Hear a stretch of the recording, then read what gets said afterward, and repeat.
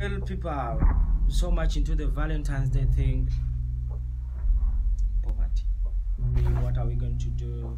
What are we giving our girlfriend? Our Valentine is coming. Where's your boyfriend? This is a Karina, right? Yeah, it's a Salimu 14th February.